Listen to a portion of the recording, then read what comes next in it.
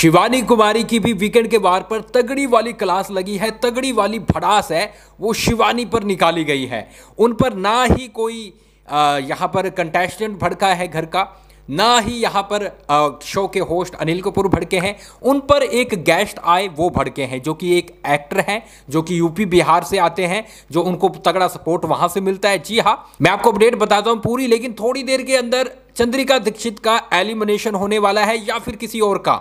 ये हम आपको सबसे पहले इंस्टाग्राम पे बताएँगे क्या डबल विक्शन होगा। जानने के लिए गाइज़ हमें इंस्टा पे फॉलो कर ले और इनका इंटरव्यू जो भी रहेगा, हम आपको ज़रूर दिखाएँगे। तो आपने इंस्टा पे फॉलो कर लेना। ये रहा हमारा यूज़र नेम डिस्क्रिप्शन बॉक्स में लिंक चेक कर लीजिए, सीधा आप जाकर फॉलो कर पाएँगे। अब गाइज़ हुआ क्या है? देखो गाइज़ जब भी यूपी बिहार की बात आती है, वहाँ से कोई आएगा तो लग रहा है कि भैया शिवानी को आकर सपोर्ट करेगा। मतलब खूब उसको सपोर्ट करेगा। कहीं ना कहीं जिस तरह से बिहार का, यूपी का नाम रोशन कर रही है, क्योंकि दोनों स्टेट को वो रिप्रेजेंट कर रही है। दोनों का नाम रोशन कर रही है और यूपी, बिहार के लोग फुल वोट सपोर्ट कर रहे हैं। इवन मैं राजस्थान का हूँ, मैं भी सपोर्ट कर रहा हूँ। लेकिन ऐसे में भाई साहब रवि किशन आते हैं, जो कि भोजपुरी सिनेमा के स्टार हैं, वो खुद बिग बॉस में आ चुके हैं। और कंटेस्टेंट रह चुके हैं पहले 2006 में आई थिंक और तब भी उन्होंने काफ़ी अच्छा खेला था। तो ऐसे में आज उनको बुलाया गया एज ए गेस्ट आए थे वो प्रमोशन के लिए। तो वो क्या बोले हैं, मैं आपको सबसे पहले बताता हूँ। उन्होंने अगर बोला कि देखो, शिवानी, गाँव वाले ऐसे नहीं होते हैं।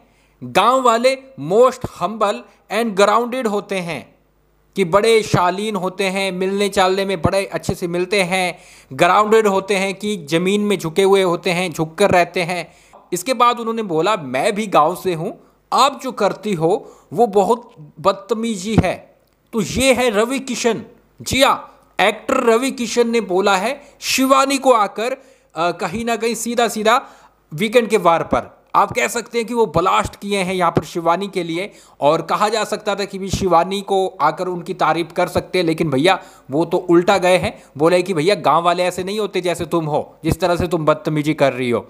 तो यहाँ पर गाइज़ मुझे नहीं लगता वो कहीं से भी बदतमीजी कर रही है। हाँ वो थोड़ा तेज बोलती है, जैसे नेजी ने बोला है। वो बोला जा सकता है कि टोन उसकी ऊँची है, लेकिन बदतमीजी का ऐसे नाम नहीं दिया जा सकता है। ये बोल सकते हो कि तुम्हारी टोन थोड़ा सा नीचे करो, थोड़ा शालीन तरीके से बोला करो, अच्छे से, प्यार से, लेकिन बदतमीजी का टैग नहीं दिया जा सकता है। तो ये कहीं ना कहीं अगर शिवानी के लिए आया है तो शिवानी इससे गिरेगी नहीं। आई थिंक मुझे लगता है स्ट्रॉन्ग गर्ल है।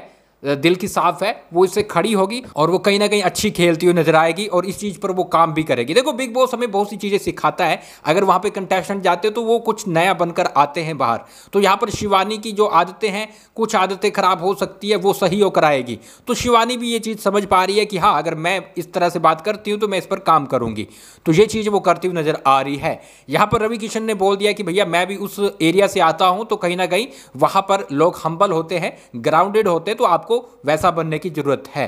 तो ये वाली क्लास है, वो शिवानी की लगाई है, लेकिन यहाँ पर आप क्या बोलेंगे कमेंट बॉक्स में ज़रूर बताइएगा। हम सारी अपडेट गाइज़ आपको दे रहे हैं और याद रखिएगा इंटरव्यू भी यहीं पर आएगा तो आपने सब्सक्राइब कर लेना है और इंस्टा पे फॉलो कर लेना और इसके साथ जो अभी अपडेट शिवानी की बताई है, ये कल के एपिसोड में देख पाएँगे और वाइल्ड कार्ड को लेकर भी थोड़ी देर में अपडेट लेके आता हूँ।